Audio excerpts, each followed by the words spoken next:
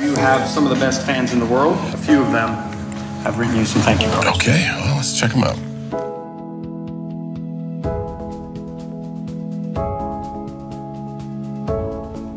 Hey, Cena, thank you for changing my life. Uh, 2011, I was left for dead after getting hit by a car. When I woke up in the hospital, the doctor told me I would never wrestle again, let alone walk. One thing I learned from you was to never give up. Thank you for being a positive role model for a generation of kids who watched you growing up. Dear John, you have heard thousands of times, but you deserve to hear it a thousand more. Thank you.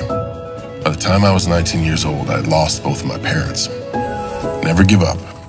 Those words repeated in my head because you were my light in a decade of darkness. Dear John Cena, your words never give up has helped me fight for a chance to be a mother through adoption. Many years passed and things seemed impossible, but you helped me believe that my dream can become real. This year finalized my adoption. My time to become a mother has become a reality. You, John Cena, changed my life.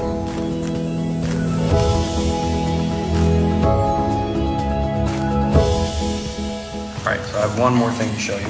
And we have a video of him just telling his story. Sure. My mom was diagnosed with breast cancer, and when she got her results, I asked her, um, what her, res- what her results were. And she said they were positive. And I was crying and I was shocked. John Cena's message helped my family because I got his wristband that he gave to me. And um, when my mom was having her six hour surgery, I gave her the wristband. That I told her to never give up. And um, she's now cancer free.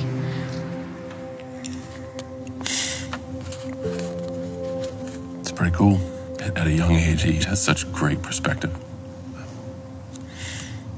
It's really cool to see, man.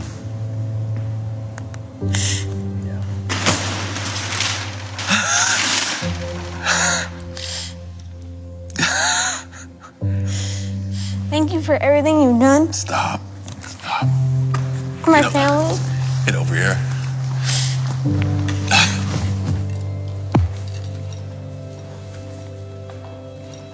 Coolest surprise ever.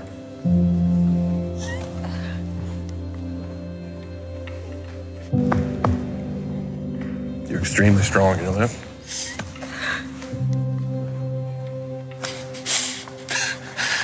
That's uh that's pretty cool. This is what you gave him. He made sure that through my cancer journey, I say, Mom, Cena says never give up. And I'm now cancer free. That's great. That's great.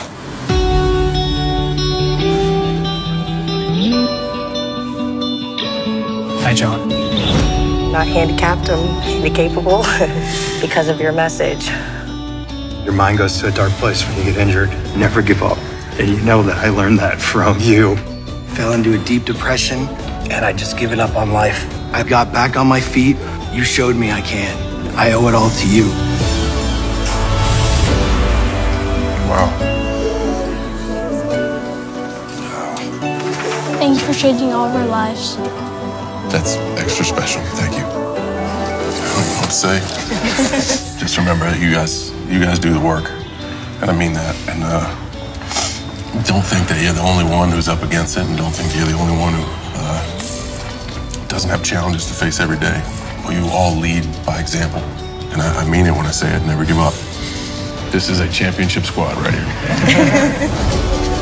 Pleasure to meet you.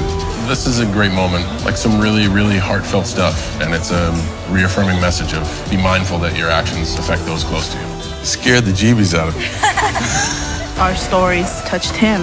How often does someone get to tell their hero about what they did for them? This is one of those extremely rare moments, and I really appreciate that. That was the coolest surprise ever.